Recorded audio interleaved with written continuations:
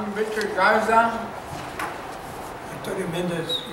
Um, I think it was a Tuesday we went, was it Tuesday? On a Tuesday we went uh, to Rancho Cucamonga. I uh, picked up Tony and Elsie, we met, we drove down there and uh, they gave us treats and they gave us lunch and uh, uh, there was a lot of veterans there of all the wars. And there was even Coast Guard guys. Normally Coast Guard don't show up. Maybe there were maybe two or three of them. And uh, it was fun. I had good, I had two good students that were honor students, so they listened to everything I had to say. Sometimes they didn't have questions, so I spoke to them. I had my wife with me, and she got mad because, hey, you're talking too much. that's what we were there for. If they want to hear that story, came up with another one. So that's Tony. And you had nothing but girls with you? Did you talk to them? Yes, uh, my group was uh, very polite and then they they were inquisitive and I asked all the questions and, and they, they were, they kept me on my toes all the time, kept asking this and that, you know. They showed that they had a lot of interest. Are you standing on your toes right now, Antonio? What? Are you standing on your toes right now? He said he's gonna kick you right now. Anyway, I got a box of C rations that we used in Vietnam that I had a collection of them, so I gave it to one of the students with me and I said, now, see that veteran over there from Vietnam or that one over there? Go take it over there and see what they tell you about this stuff in there. And they came back with a lot of stories about eating that C ration and what they liked and all that stuff. But anyway, that's why I take it. Because I know what I did with them, but I want them to hear from other veterans of their stories. Is that the second or third year you participate with that, Richard? Uh, this is about my third year. Yeah. I think this is Tony's first one, right, for Yeah. Rancho Cucamonga? Yeah. There might be another one in Claremont that we went to. I haven't heard from him. Have you? Ralph? Not yet. Okay. Because last time I think you came out on, on ABC News. Oh, yeah. Well, that's how I know about that one. I, they told me that I came out and I didn't speak much, but they said I came out on, on the news Yeah. again, but just a little shot. Oh. And I tried to find it in the computer, but I'm not that good at the computer, so I missed it. I put that clip, your clip, when you went there and sharing with the students, I put it in our website. Yeah, that was at, uh, at Martin Luther King High School. Yeah. I guess that's about it. If anybody wants to go, let us know and we'll just uh, carpool with you. How many, sorry, how many students you were in that? Uh, Was it like a, the a half a, a day They relay, were all rally? juniors, The whole junior class. Hmm. And, It's a big school. Yeah? and It's they all, really big. they all dressed real nice. The guys had their ties, I would ask them how they fixed their ties, and they said, my dad did it. And Some guy said, I looked it up on the internet. And So they want to pay respect to you guys. Oh, okay. We better change caps, yeah. Yeah, okay. Oh, okay, I didn't I didn't notice that. They're- Yeah. Two, so Now we're, now we're in order. now Antonio feels like himself, the World War II Silver Star veteran. And Richard, Vietnam. Richard, I mean, hold on. Tell us a little bit about the album that you have. Because you got some phenomenal pictures from when you were Oh, when. I, in Vietnam, I ordered me a camera to the PX, the, the little book they had, and they came to me, and I would take it out to the field and shoot pictures. And I- we were in the Mekong Delta, and he was too, that we could only go out there maybe one or two or three days, and they bring us in because there was a lot of swamps and canals, and were always wet. So the soldier would come in with a ringworm, a rash, or fungus, or something. So there was a lot of sick calls. So that's why they were bringing us in early. We, in the morning, we get dry boots, dry uniform, and then we go out again. They fly us out in helicopters, or they take us on the boat, or they drive us out in the truck and drop us off. And we spend maybe one, two, or three nights, but we have to come mm-hmm. back because otherwise we get sick. Anyway, I took the camera with me and I shoot pictures all the time. And when we got to the big base, they had arts and crafts for all the rims to do something. They even had a miniature golf course and they had a steam room They all the guys in base. Antonio's one, sorry, Antonio's wondering, were you really in combat? Anyway, these are for the guys that, you should see his expressions. well, you know, there was, there were ten veterans for every combat veteran.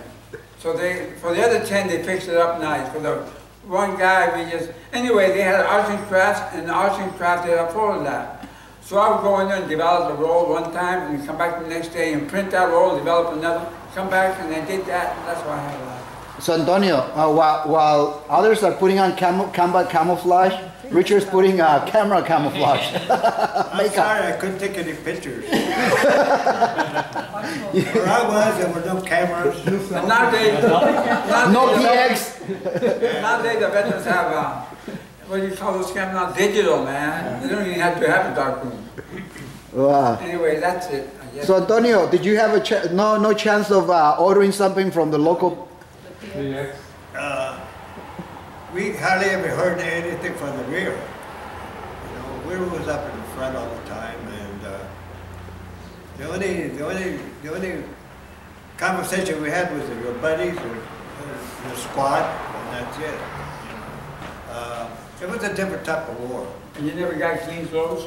No, where was that? No, uh, I got clean clothes when I, when I got wounded, you know, I got clean clothes. But, uh, if you're, uh, but when you come back, you know, uh, uh, you, you go to what you call the dog pile. That means, uh, people that, soldiers that got hurt or, or wounded, their clothes are there. So you go to the dog pile and- and look what, whatever you need, you know, a helmet, you know, most of you need a helmet and a cover, you know. And you look, some of the helmets are pretty beat up and, you know, and bloody, so you pick the, the neatest one. And like, I, I couldn't find one and they told me, you better get the net because you're shining at night. So finally I found one, but, but the helmet that that went with it, you know, uh, because everybody's head is different. And you have to get that liner that goes, that fits on you, and, uh, and so I carried it for about a week. I couldn't put it on, you know, and then the guy said, hey, man, you, you, we could see you last night. The moon at night, you know, it reflects on the helmet. And I said, okay. So I cleaned it as best as I could, you know. You don't, uh, you're very special on water because, uh, water don't come up to the front that often. So you have to be sparingly and use a rag, whatever you do, find. Mostly you use the grass or something to clean. So there was a different type of war, and I understand it. It's amazing, you guys, like back home, you get rations and you get your, your, your carnitas, you know? Yeah. That was really something. first. No, Tony, in that rag pile that you picked up, did they at least wash all that clothes they put in that pile? What? Did they clean the clothes that were in that pile to get, No, were they think they uh, were dirty? No, they were dirty. They were, there's no place to clean them anyway, you know, and uh, it it was hard bringing supplies up, you know. Uh, A lot of times we had to watch our ammo because uh, we was getting short and we don't know when it was coming back up. There's a lot of things that went different. Antonio, Just happened to get them hardtacks, it was, uh, we were still hungry, we were always hungry. you were you, you say you didn't really get a chance to clean up when, uh, out, out there, kind of like our our Oh, Hollywood. you're, you're, you're in uniform, you're in a, you're in a goddamn hole, you know, and you're moving, whenever you're in battle, you're fighting, you know? And then when it stops, you, you're, you find a, a place to, to stay, you know? Most of the time, when you take a place, you move out to, outside. The officers, you know what I mean, division comes and, in, and moves in, you're out there in the field. There was one time, we pulled a fast one because it was, it was getting cold and we was always on the, on the line. So they, my squad said, hey this, why don't we try something? I said, okay, what do you want? So he says, you know, every time we take something, we have to move up to, to, to the front. And then they come in and they all sleep in a goddamn house, you know, eh, and, and in that cold weather. And we're out there on, on the holes. Well, what do you expect? He said, well, we could take it and then tell them we, it's not secure. And I said, I don't understand what you mean. He said, well, if it's not secure, they're not coming in. So we, we just put our pork guards outside, out there, and we'll sleep in a home, in a, in a, in a, in a, like a shed or something, whatever. I said, okay, I said, that sounds pretty good, let's try it. So we did, I mean, we, we took this, a it was a, it was a barn and a couple of smaller houses, you know, and, uh, it- the, the runner came up, uh, and oh, we can't take it, It- we're, we're just taking it over. He comes back and says, it wasn't secured, so we got, we took turns sleeping in, in the, in the building. And we had our, our, our, our, what you call our listening post outside, forward, for, in a forward echelon, so if anything happened, they'd, they'd come out, they had runners. We had runners at that time because we, uh, our lines were very extended. So, so th- that way, we could right away push out, and- but that's the only time we slept in some, in, the- in, in, in in the barn and stuff like that. Mostly in the open. Antonio, how many, how many people have heard Antonio's ugly German story? Or haven't heard it? Who hasn't heard it? You have someone who hasn't heard your ugly German story, Antonio. Can, do you mind sharing it? Which one do you want to hear? The one where, with the one where you shot that very ugly looking German soldier. Because that, he. that one. what happened there, Antonio? We came to this, it was, it was a small little, little town, you know, and, uh, we took it over, uh, let's see. And so, uh, in my squad, I never asked anybody to do that I couldn't do. So, I was, I was a different squad leader, according to what they tell me, anyway.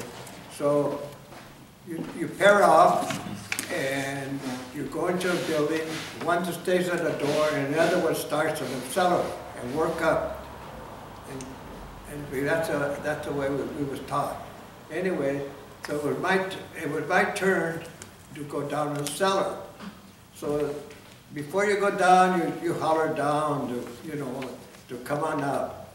He's coming. Next shit means you're not shooting, come up.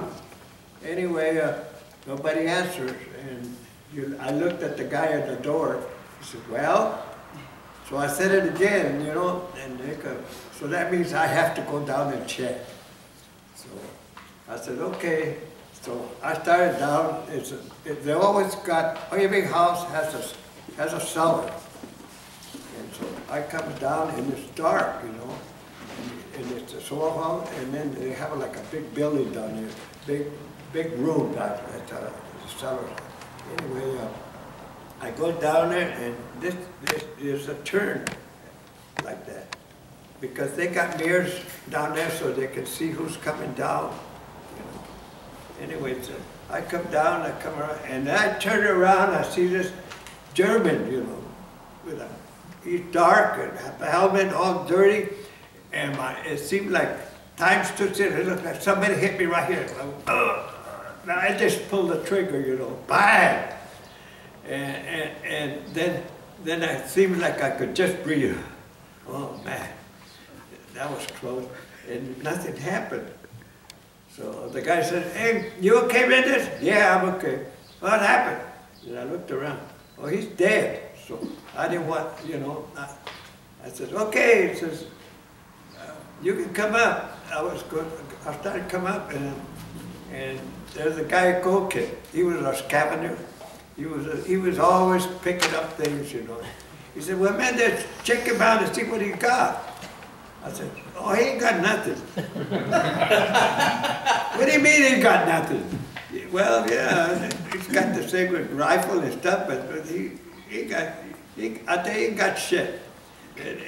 Anyway, I started, well, I come up, and the guy says, and, and uh, go catch there, and he says, well, he says, "I- I'm gonna go down, and ma- he, uh, he must have, he must have a ring or something. No, no, forget it, let's go, let's go. No, I'm gonna go, heck. You, you, you don't care about that, I do. So he went down, and I, I waited up on top, I said, I wonder what that guy's gonna do. And he comes back and shakes his head, well, go get, yeah, he's dead all right, and he goes out past me. So I walk out there, so we, during about half an hour after we, we, we cleared the, uh, the area and everything, we settled down, we got in a hole, and he came running up, and told the guys, hey, okay, did you find anything? And the guy says, no, he, he says, he wasn't there. What do you mean he wasn't there? So they turned around and looked at us. What happened, Mendez? Oh, they said, nobody was there. So like, he, he started laughing. He said, "We've got some guy that's really quick on the trigger, man. He, he shot this guy fast. you know what happened was, when I came around, I saw this ugly guy, you know, German, so I shot. But then I, you know, it was really me. It's a mirror. There's a mirror there that reflected me, you know, and and I couldn't believe it was me because I had a beard and dirty, you know, smog and everything, and I had my helmet was down, you know, and, and he looked like a German to me. Really ugly and dirty. But anyway, well, your heart really stopped me, man. It, it looked like somebody hit me right here, and I, I couldn't. Uh, You mean you didn't have time to order stuff from the PX like Richard over here? Bobby Fennel. Well, but to all fairness to Richard, Richard, you, those were combat missions you were on too. Oh, yeah. Yeah. The PX for the combat. You were fighting people for the ra- last, uh, uh, C ration. You know, uh, how, how many you guys seen the Audie Murphy story? Has everybody seen that? No? Well, it's the army, that's why you haven't seen it. Audie Murphy, in his movie, because he was in Germany, that happened to him too. And they made fun of him, his, uh 'cause cause he was a sergeant at that time. he shot himself too. He was walking down the, down into the cellar, and he saw his reflection, and he just reacted and shot him. And all the guys were making fun of him, He- you know, hey, Murphy, uh, Audie Murphy shot himself, sir. Shot himself, shot himself. But that was in his movie too. Ah, okay. Well, ev- an- any questions for Antonio and Richard? If not, thank you for sharing, Antonio and Richard. Gracias.